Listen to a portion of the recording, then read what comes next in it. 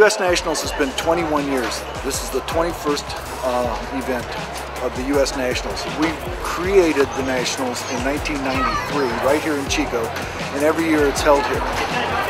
Due to the popularity of yo-yoing as it has grown, we have helped 25 other countries hold national contests. So we are the pioneers. We're the oldest national contest, and we uh, have pioneered judging and performance uh, Uh, that has spread around the world.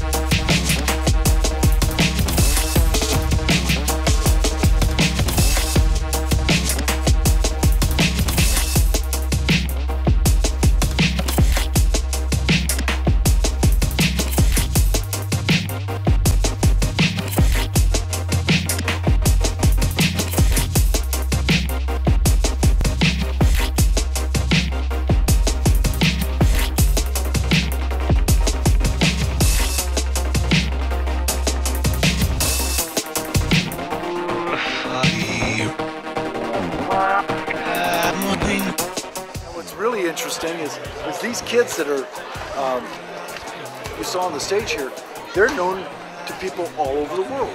And like Gentry Stein is a, uh, a world hero, and for him to win this is going to matter to kids in uh, Russia or Singapore, or you know, it's they know Gentry Stein already, and and uh, we're rooting for him. And, and here he finally won after taking a, a, third place two years ago, a second place last year, and a first place this year. I mean, it's hard work. Uh, when I was in third grade, I uh, got a yo-yo for Christmas, and then I.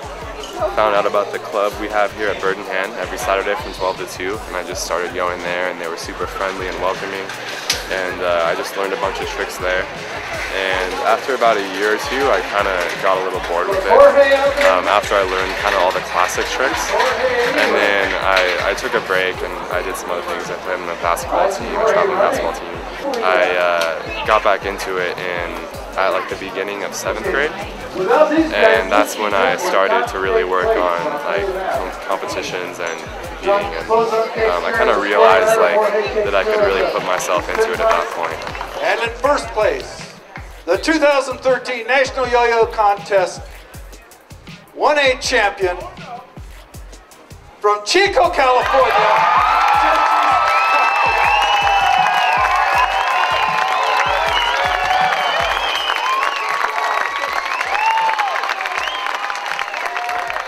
Information on our stories, you can go to theorion.com.